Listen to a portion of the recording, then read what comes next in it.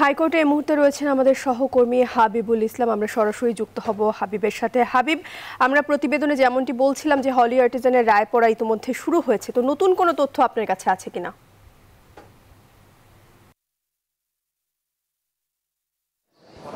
প্রিয়াঙ্কা, আপনাকে ধন্যবাদ। আসলে নতুন তথ্য বলতে রায় পড়ার একেবারে শেষ প্রান্তে রয়েছে। কিছুক্ষণের মধ্যে হয়তো রায়টি ঘোষণা করবেন বিচারপতি শহীদুল করিম ও বিচারপতি মুস্তাফিজুর রহমান। বেলা এগারোটা সাতাশ মিনিটে মূলত রায় পড়াটি শুরু করেন। আসলে এই একটি দেশের ইতিহাসের একটি উল্লেখযোগ্য মামলা, যার কারণে এর পেপার বুক কিন্তু অনেক বেশি। কয়েকশো পেজ এই মামলার যে পেপার বুক সেটি সম্পূর্ণ পড়ছেন বিচারপতিরা, যার কারণে একটু বিলম্বিত হচ্ছে রায় পূর্ণাঙ্গভাবে ঘোষণা করতে।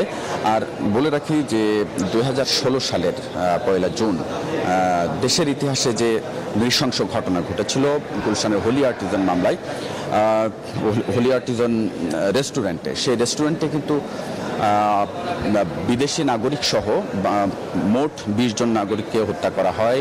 সন্ত্রাসীরা জেএমবির জেএমবি সদস্যরা তাদেরকে হত্যা করে। এবং সবচেয়ে বড় উদ্বেগজনক হচ্ছে তৎকালীন সময় পর্যন্ত বাংলাদেশে এই ধরনের ঘটনা আত্মঘাতী যে হামলার ঘটনা এটি ছিল প্রথম বাংলাদেশে। এবং সেই ঘটনায় কিন্তু আপনি জানেন যে আহ, বিচারিক আদালত থেকে সাতজনকে মৃত্যুদণ্ড দিয়েছিলেন। সেই সাতজনের মৃত্যুদণ্ড দেওয়ার পর মূলত সেই মৃত্যুদণ্ড অনুমোদনের জন্য হাইকোর্টে পাঠানো হয় এবং হাইকোর্টে পেপার বুক প্রস্তুত করার পর মূলত এই হাইকোর্টের যে শুনানি আসামি পক্ষের আপিল এবং ডেথ রেফারেন্সের অনুমতির যে শুনানি সেটি শেষ হয়েছে।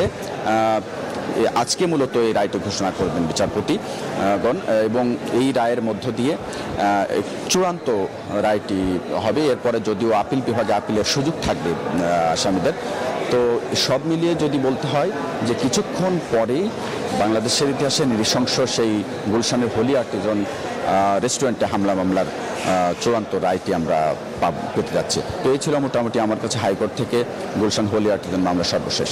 প্রিয়াঙ্কা।